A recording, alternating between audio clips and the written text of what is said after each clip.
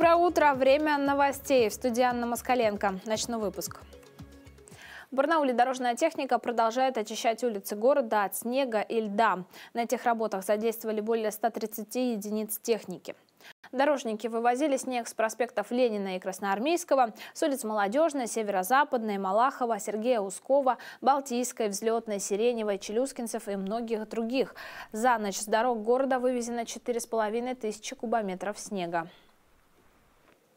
15 тонн гуманитарной помощи отправили из Барнаула на Донбасс для жителей и участников специальной военной операции.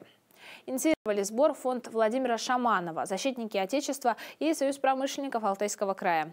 Весомый вклад в формирование гуманитарной помощи внесли предприятия и предприниматели региона. Кроме того, посылки передавали жители.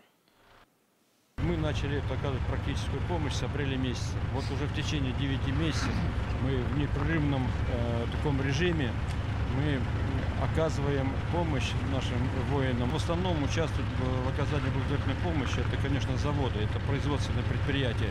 Их примерно 120 у нас вот таких. И все они без исключения, но в силу своего финансового положения вот, оказывают помощь.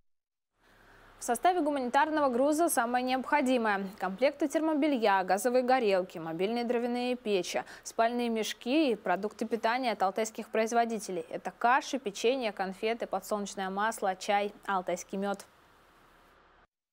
Представители Алтайского края и фонда часто бывают в новых регионах России и знакомятся с теми потребностями и нуждами которые есть у жителей непосредственно и военнослужащих.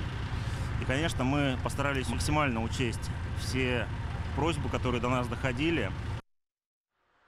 Фура с гуманитарной помощью дойдет до получателей до Нового года, ориентировочно в середине следующей недели.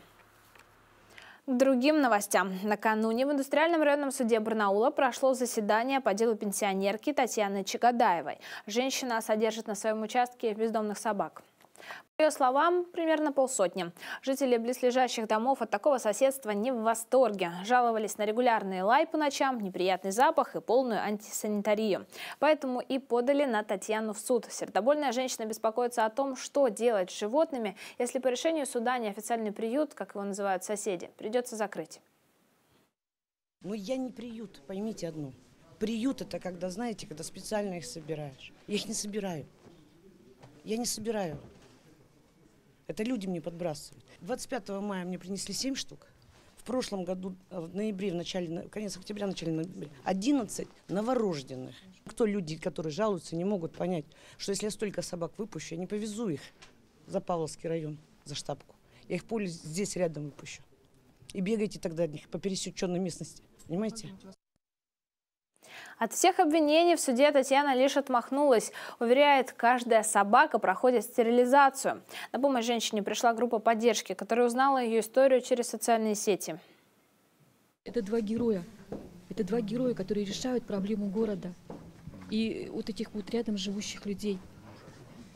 Да им надо памятник и ордена повесить. Что будет с собаками, пока неизвестно. Они по-прежнему живут у Татьяны. Суд перенесли на 18 января. Экологическая акция «Разделяя, сохраняя» пройдет в Барнауле 17 декабря. Организатором выступит общественная организация «Мусора больше нет». Все собранное на акции вторсырье отправится на переработку пункт приема можно сдать полипропилен, крышки от бутылок, пустые металлические аэрозоли, флаконы от бытовой химии, открытки, алюминиевые банки, картонные коробки, одноразовую посуду, пластиковые бутылки, стекло, полиэтиленовые пакеты и другие виды вторсырья. Стационарная точка будет работать на проспекте Ленина 152 с 12 до 14 часов. О других пунктах приема можно узнать на официальной странице организатора в социальной сети во ВКонтакте. И на этом у меня все. Напомню нашим телезрителям, что эти и другие новости всегда можно найти на нашем официальном сайте kp24.ru.